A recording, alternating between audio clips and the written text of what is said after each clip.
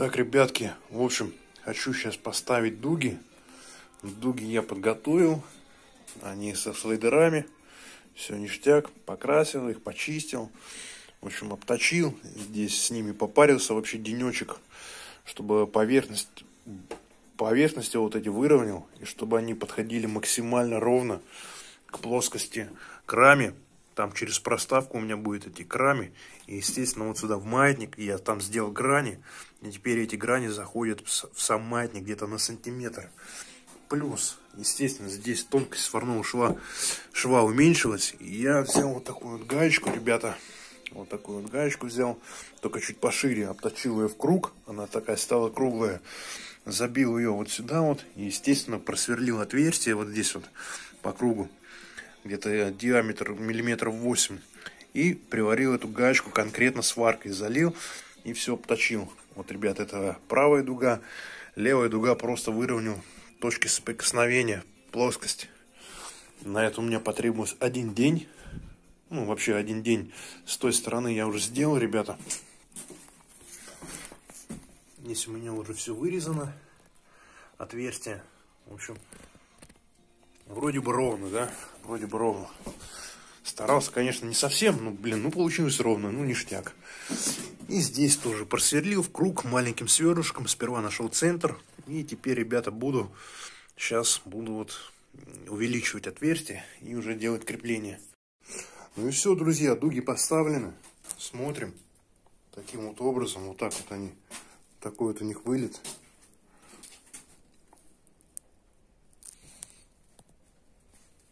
Принципе, нормалечек. Блин, здесь места мало. Запарился, короче, так-то, конечно. Ну, блин. Уж как, уж как, блин, поставил. Старался, блин.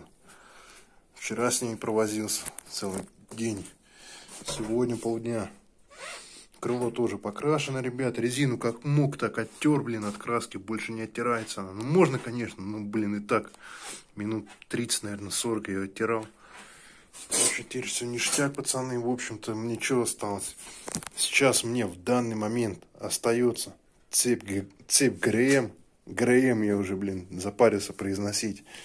Цепь ГРМ. Потом заодно я поменяю втулочку на корзине сцепления, там вот такая вот идет, я тоже заказал новую. И заодно я поменяю цепь на привод масляного насоса. Она мне тоже идет, я ее тоже заказал. В общем, все вместе я поменяю. И, кстати, потом что-то еще заказывал. А, сейчас заказал вот сюда оригинальную резинку.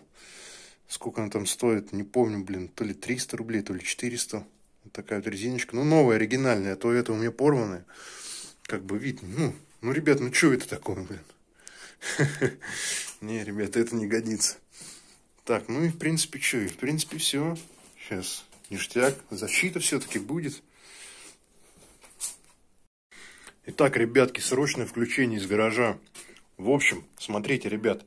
Бак, топливный бак. Снимаю насос уже третий раз. Вот насос. По одной простой причине, то что мне одна мысль не дает покоя. Я просто-напросто не могу ночью уснуть. Смотрите, ребят, в общем, такая ситуация.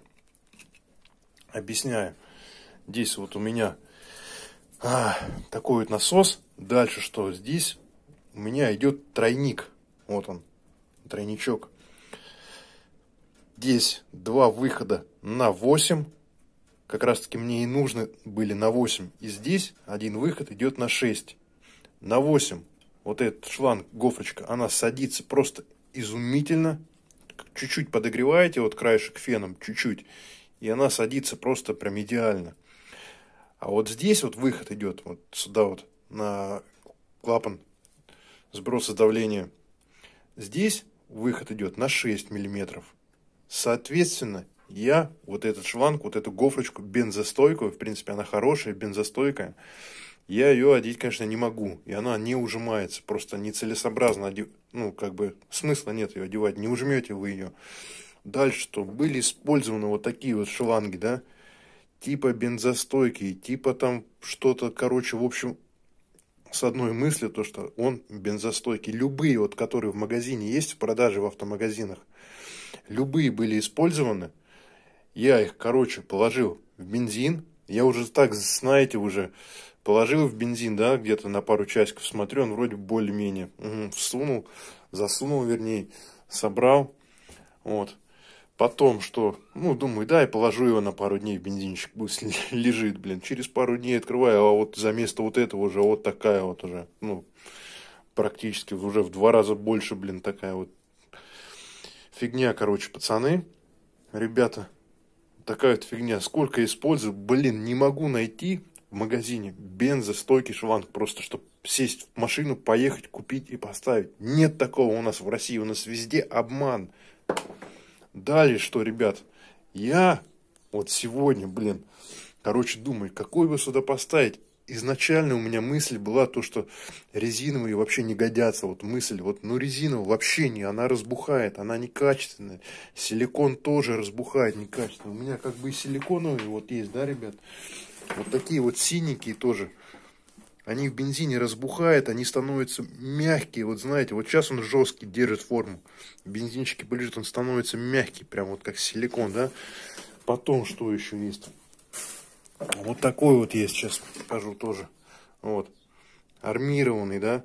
Он тоже в бензине полежит, он становится мягкий. А сейчас он прям идеально, прям жесткий. Он становится мягкий, когда полежит в бензине. Потом, что у меня еще есть? Вот такой вот есть силиконовый тоже. Но он дорогой, это прям хороший силикон. Он тоже, ребята, увеличивается в два раза. Вот такой вот я кусочек отрезал. Он через сутки в бензине увеличивается в два раза. Он вообще какой-то, как мякиш такой вообще прям. Вообще, то есть не годится, ни, никуда не годится. И, в общем, я для себя принял решение, то, что шланг здесь должен быть только из пластика. Из ПВХ или там какой материал, по-моему, из ПВХ, да. И, ребята, я вот здесь стою, вчера, блин, в пол ночи проснулся, искал в гараже его, у меня был какой-то там черный, толщиной с миллиметра где-то, с полтора, вот, я его так и не нашел. И сегодня вот здесь вот так стою, да, ребят, стою, блин, где бы мне взять пластиковый шланг? Смотрю, вот, вот, вот он, вот он, ребята, вот, смотрите, вот, толщина его, ребятки, смотрите. Вот, 2 миллиметра. Какой 2 миллиметра? 3, наверное. Вот. Я его, он жесткий вообще, ему уже не знаю сколько лет, уже, наверное, лет 10 уже, ну, где-то около 10 лет. Чуть раньше делали, видать, качественные товары. Все-таки жесткий, блин, вообще. Ну, как бы как жесткий, он вот...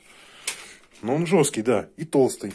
Я отрезаю кусочек, кидаю его, ребята, вот, вот, вот сюда, вот в растворитель R12 кто понимает, то, что это растворяет очень конкретные вещи.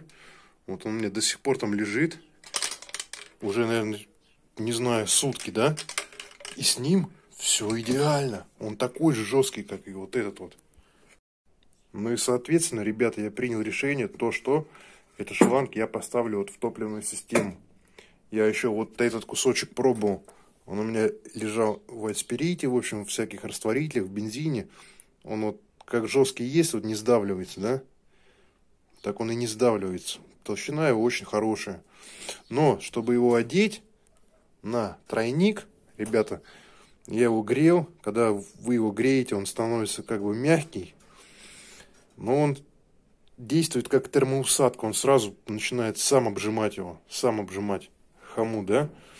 И чтобы постепенно как бы увеличить диаметр здесь на самом клапане сброса давления, да, здесь диаметр где-то вот восьмерочка есть, а здесь на тройнике шестерочка.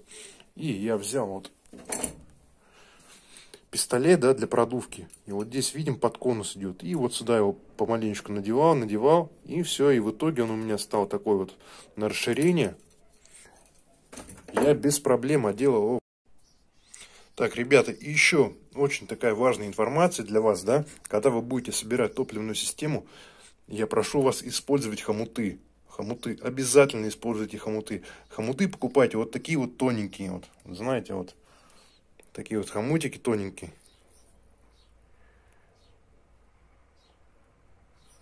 В общем, покупайте вот такие хомутики, ребята. Они очень хорошо обжимают. Сейчас покажу для примера, какие хомуты не нужно ставить. Вот такие, ребят, хомуты не ставьте. Они дубовые, они очень жесткие. Сейчас где-то у меня еще пример один. Вот, например, вот такие вот хомуты, ребята, не ставьте. Это очень вообще неправильное решение. Он, может быть, зажимает и хорошо, но он не обжимает по кругу. По контуру он у вас не обжимает. У вас остается из круга где-то площадь, которая не прижатая а, к самому основанию. Она у вас остается. Он не, не обжимает. Вот они вот не обжимают, ребят. Вот такие вот тоненькие, вот они вот, самый раз. Самое то, что надо. Вот раньше делали, вот еще старые хомутики, я помню. Вообще такие прям эластичные, прям хорошие. Вот они прям обжимают, прям просто изумительно. Вот как вот этот вот. Как, ну вот эти вот, в принципе, все. Они вот хорошие. Вот эти еще американские у меня два. Вот эти вот еще хорошие. В общем, народ, извините, если что, повторяюсь. Хочу объяснить максимально подробно для вас, для зрителей, чтобы вы поняли, и чтобы у вас вот таких проблем, как у меня, не возникало больше. Так что сейчас буду бензонасос ставить обратно в бак. Вот могу показать, что творится в баке. Бак вот в таком состоянии у меня. Вроде бы, как говорится, не ржавый.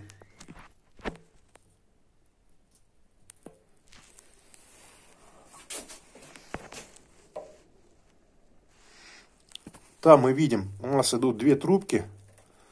Вот эта трубка, ребята, она идет, когда у вас перелив бензина, либо для сброса давления в баке. Когда он у вас мотоцикл на солнце, когда он, в общем, греется. Соответственно, бензин должен испаряться. Вот эти трубочки медные идут. Вот, в общем, такое вот состояние бака. Меня это, меня это очень радует, ребят. Очень радует. Вот эта маленькая трубочка. Вот эта большая. И перед установкой посоветую смазать шпильки. Смазать вот эту вот поверхность, где соприкасается вот эта вот резинка уплотнительная. Вот это вот все смажьте, ребята, и поставьте. Можете даже, грубо говоря, ну, хорошей смазочкой с силиконом или еще чем-нибудь. Смажьте, чтобы ни коррозии, ничего не было. Ну все, ребятки, вот такая вот история про бензонасос. Давайте-ка я вам покажу, как вот есть вот это вот все.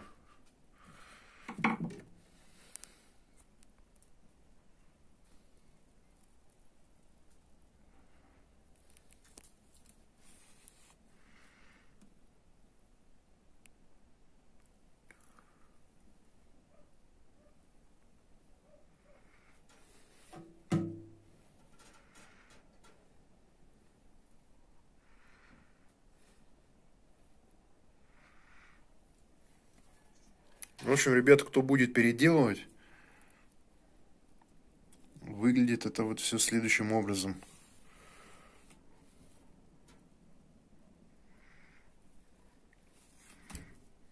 Сеточка здесь установлена вот такого вот типа. Вот. Это старая сетка.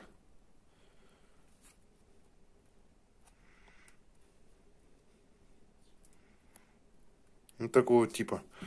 В общем, ребят, кому понравилось видео, ставьте пальцы вверх, подписывайтесь.